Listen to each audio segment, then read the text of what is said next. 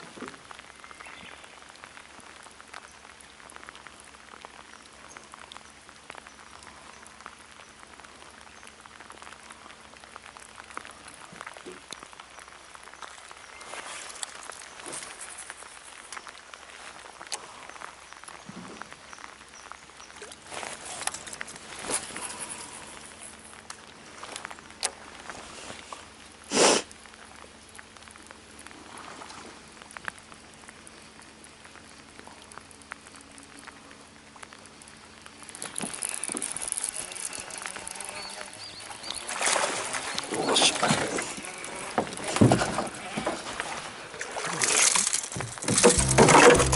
よっしゃ。ハーフフラットにしたらちょっといいサイズのバス釣れましたよ。ね。いやー。こんな感じでハーフフラットバスいただきました。結構ね雨がザーッと降り始めて、えーずっとワームやってたんですけどもこういうのいけんじゃないかなと思って少し大きめのルアーにしたら来てくれました。じゃあサイズ測って逃がしたいと思います。ハスフラット。でタックルはバンタムの MGL の PG にタトゥーラエリート。ね何でも投げれる竿だからこういうちょっと大きめのやつでもしっかりとパッことができます。サイズもどうだろう。ちょっといい感じじゃないですか。トズラッパラバスクねちょっといいサイズでしょはい。ハスフラットで初めて釣れた魚は4 2センチほど。ね。はいじゃあありがとうさん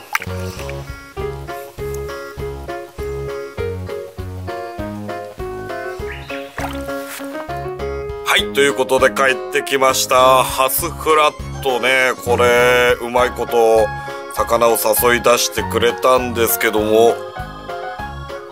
リップがない。ね、このプロト005号機ねリップをそのシャローリップとあとはねちょっと潜るクランキングのリップ2つがついていてで今回釣れたのはクランキンのリップをつけてですねちょっとあなんだろうマグナムクランキングクみたいな感じでこの前ねあのー、マグナムクランクで釣れたんでそんなイメージで使えればなと思ってちょっと潜るタイプのリップをつけていたんですけどもその後ね釣れた後釣れた時はあの取れなかったんですけどねどんどん打ち込んでいった時にまあ根がかりしてバンバンなんて外したタイミングだったかな。ちょっとねあの接着してたわけじゃないんで取れちゃったんですね。ということでこれ。もう一個ね、あの、リップがついているんで、で、リップ取れた後はなんというかな、まあ、あのー、ジョイント、なんだろう、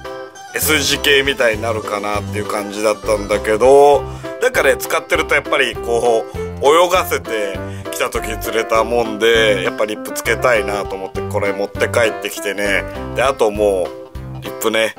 1個しかないので、こっち、シャローリップ。こう、立った角度なんですよね。クランキンのリップはもうちょっとね、こう、薄い角度で、カタカタカタカタってゆっくり潜って入っていってくれるような感じだったんだけども今度このシャローリップねでこれなくなったらリップ終わっちゃうんでこれはちゃんと接着してつけようかななんていう風に思ってるんですけどもちょっと今手元に接着剤がないのでまこんな感じで結構ねがっちりつくんですけどもさすがにこうバスがビッタンビッタンバレたりねルアーつけたままあとはねあのなんだろうバシーンとかなんか悪い角度なんかでぶつかっちゃうとさすがに頑張ればこう取れる仕様になってるんでこれはちょっとね今度あの接着剤でくっつけて釣り場に行ってこようかななんていう風に考えております。まあ、こんな感じでちょっとしばらく投げ込んでみたんですけども徐々にねサークルマークフックサークルっていうんですかねこんな感じついてきてでもね本当あの見た目はまあ180センチほどあるんでまあ大ぶりなルアーに見えるんですけども非常になんかまあ見た目より軽やかに負けるっていう感じでしたね。あの疲れないでまあこうなんという較的フラットっていうだけあってちょっとスリムボディなんで横から見るとこんな感じで大ぶりなんですけども投げて巻いてみると大体今2オンスまでしょえるよみたいな竿でクランキングロッドで巻いてるんですけども非常に、えー、巻き心地が重くないんで結構気持ちよくね立ったか立ったか打っていくことができるなっていう、え、印象でございました。で今回はねこれからはあのこのシャローリップでちょっと切り立った、うん、どうだろう。もしかしたら今までより抵抗が多い感じの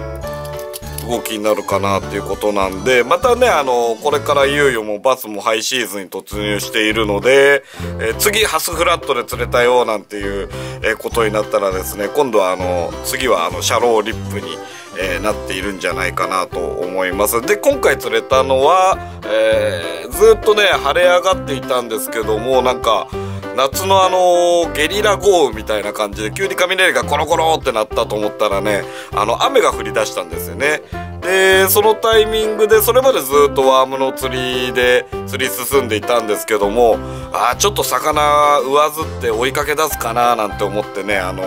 このちょっとデカめのやつに結び替えたところ結構早めに反応してくれたっていうことで。で、まあその後ね、その別のルアーとかね、まだ釣ったことないルアーいけないかなと思って、とずらっぱらあのずっと本当によく釣れる状態が続いているんで、試していったんですけども、なんで、またね、今度ね、朝マズメとか夕マズメ、クラキンモデルよりちょっとね、トップレンジを、えー、誘うようなリップに付け替えたんでまた要所要所でこういう大きめの魚追っかけてないかななんていう時にちょっと使ってみたいなというふうに、えー、思っております。非常にねあのー、発売が待たれるんですけども製品版で出る時はどうなんですかね？この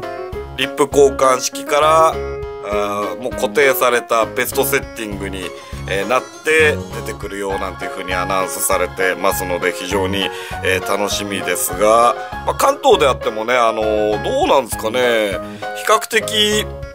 ワカサギとか小さいこれぐらいのベイトピピピピって追ってる姿はよく見かけるんでちょっと大ぶりなルアーどうなのかなと思ったんですけど投げてみるとねあの春先ぐらいからねこういった大きいやつでも果敢にあの釣れてくれるんですよね。で、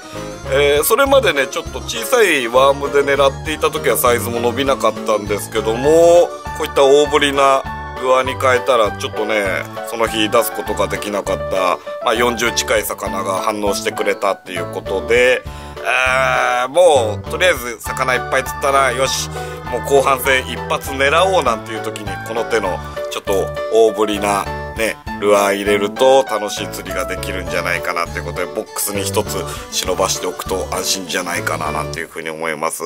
またねあのー、これ釣れたら今度はね、えシャローリップになりますが釣れたよなんてご報告の、え動画上げれればと思うんですけども。というわけでですね本日の釣り子 TV は、えー、もうね入れ食いに湧く戸面っ腹ダムね。ここに一斉の